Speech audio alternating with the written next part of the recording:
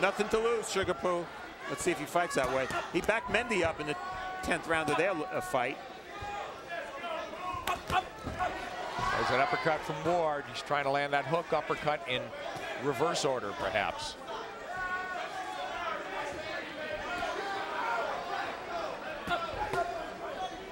Yeah, Ward looked extremely aggressive in this round. Drives Buchanan back once again.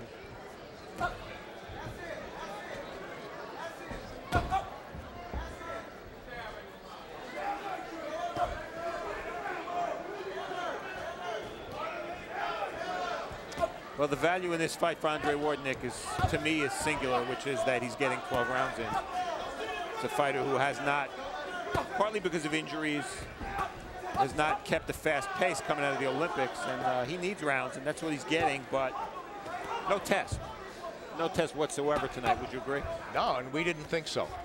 And really, uh, Buchanan, a guy just not acting like he belonged in the same ring in the same league, and it's clear. And that's been the story, start to finish. Shaking off the shots from Ward.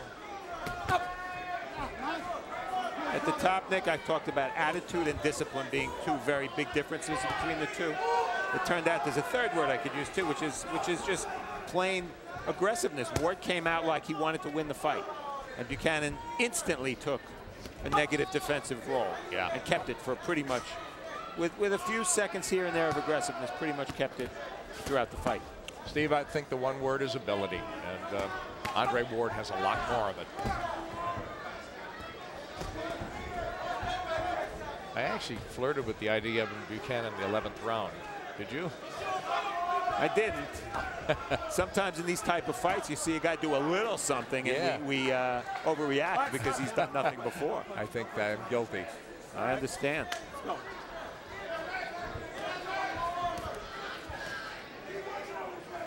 30 seconds to go. Ward, Andre Ward goes 12 for the first time in his career. Stop! Stop! Break clean. Hands are up. Box. Henry Buchanan's claim in this fight. I was standing at the final bell, and that would be it. Stop on the bell. Oh, nope.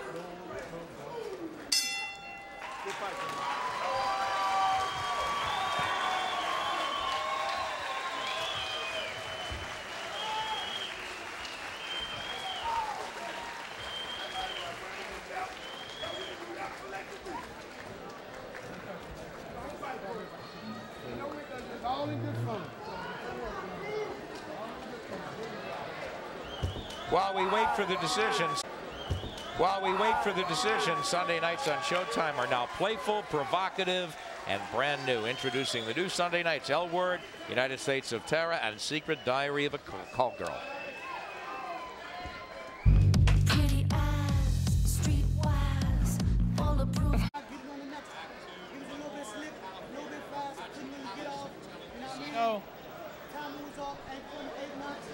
And it's as we look, wait for the official decision. We look at Josh Barnett, a mixed martial arts star, heavyweight, and a reminder that MMA returns to Showtime Saturday night, April 11th with Strikeforce.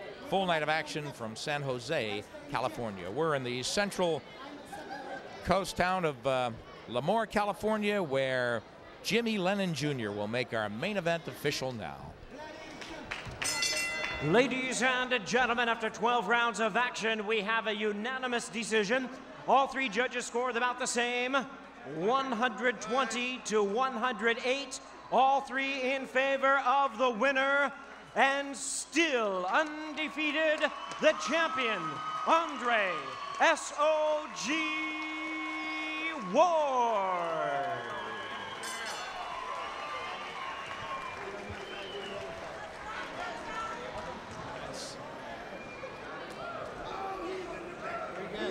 Andre Ward did it every way possible in this fight for all 12 rounds, kept good focus.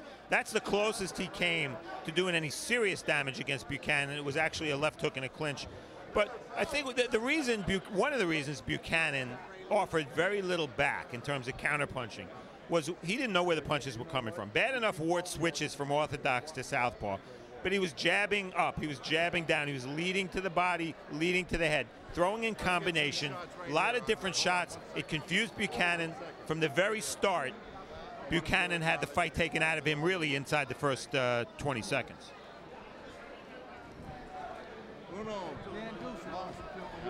Well, Steve, then you look ahead and you say, here's a guy ranked three in the BC, three in the BO, 10 in the BA. That puts him in line to fight for a title, really, maybe this year without ever really being challenged.